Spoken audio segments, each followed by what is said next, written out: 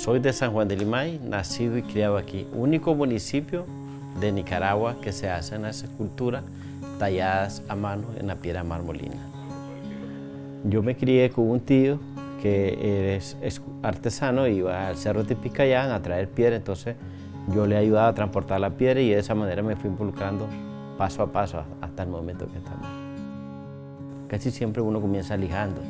Hacía ceniceros, huevitos, este, cosas pequeñas. Posteriormente ya comencé a hacer piezas más grandes, ya a la edad de los 16 años comencé a hacer esculturas grandes.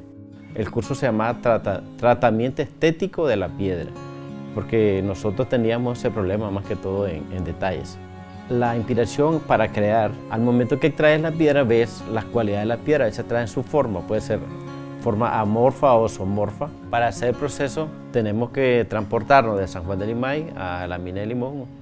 Hay una herramienta que se llama escofina, comenzamos a escofinear. Después de la escofina viene el proceso del raspado que le llamamos, para crear una capa homogénea en la pieza, entonces posteriormente viene el, el, el encerado, que es una pasta, y le aplicas con un entonces te da el brillo final. Por el momento la escultura más representativa es la gorda, porque representamos el amor y la abundancia en la mujer. Siempre están felices.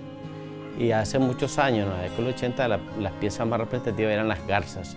En 2009 se hizo el recorrido de las gordas, se hicieron 20 gordas, pero como Oscar Casco, mi línea es, hacemos gorda en mi taller, pero también hacemos nuestro estilo.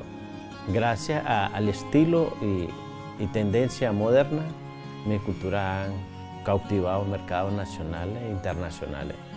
Por ejemplo, Milán, tuvimos en la Expo Zaragoza 2008, fuimos a Taiwán, por ejemplo, con la Universidad de Maryland, en MICA, que ellos tienen su escuela de arte, estamos hablando de estudiantes de cuarto o quinto año de arte, y vienen a nuestro municipio porque son muralistas, hacen murales, y el proyecto tiene horas de pasar en nuestro taller. Uno como escultor nunca termina de aprender, siempre se aprende más, porque estás creando, cada vez que creas nacen ideas diferentes.